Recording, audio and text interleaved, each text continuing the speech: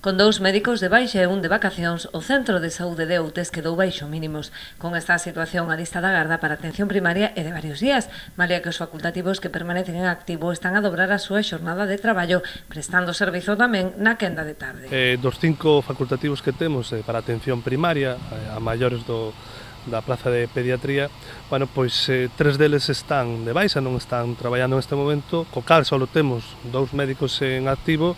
eh, que non dan abasto, evidentemente, non? Isto implica que hai unha lista da garda para a atención de cuestións, bueno, pois moi básicas e que eh, incluso isto se dá na coa circunstancia de que algúns eh, médicos está doblando turno, é dicir, está traballando mañán e tarde, non? Bueno, pois destas mm, tres baixas, unha delas está, eh, por vacacións, outra unha baixa que xa estaba prevista, posto que é unha operación dos, dun dos facultativos, e outra sí que é sobrevenida, que entendemos que é que máis dificultade te puido ter para sustituir, pero non as outras, non?